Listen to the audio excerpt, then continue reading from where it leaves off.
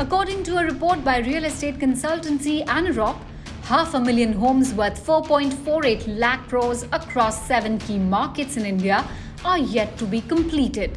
These are homes which buyers have paid for. They're paying back loans and living on rent, while the construction of their dream homes, which they've spent their life savings on, has been stuck for over a decade in many cases. Delayed projects have been haunting India's real estate sector over the past decade. Builders postpone projects citing financial strain or labor challenges, while homeowners keep waiting. Experts say the cash crunch being faced by developers is mainly due to financial indiscipline and fund diversions before the Real Estate Regulation and Development Act was implemented in 2016.